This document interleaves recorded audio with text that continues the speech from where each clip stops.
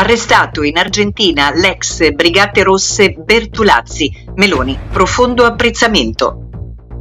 È stato arrestato in Argentina Leonardo Bertolazzi, latitante delle Brigate Rosse che adesso sarà estradato in Italia a seguito della revoca dello status di rifugiato che aveva ottenuto nel 2004.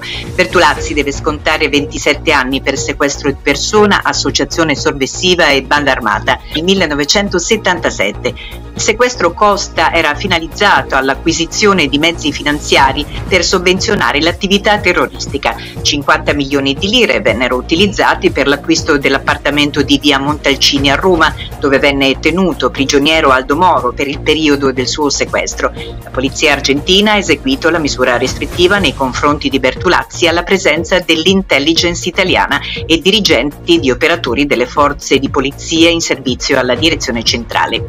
La notizia dell'arresto è stata commentata positivamente dalla Premier Giorgia Meloni. In una nota diffusa da Palazzo Chigi si legge che la Presidente del Consiglio esprime profondo apprezzamento alle autorità argentine per aver eseguito l'arresto di Leonardo Bertulazzi, condannato in Italia a 27 anni di carcere per reati di terrorismo, a seguito della revoca dello status di rifugiato da parte della Commissione per i rifugiati in Argentina.